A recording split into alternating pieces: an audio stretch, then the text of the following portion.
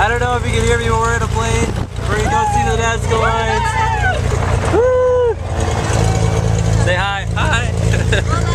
All right, we'll let you know how it goes.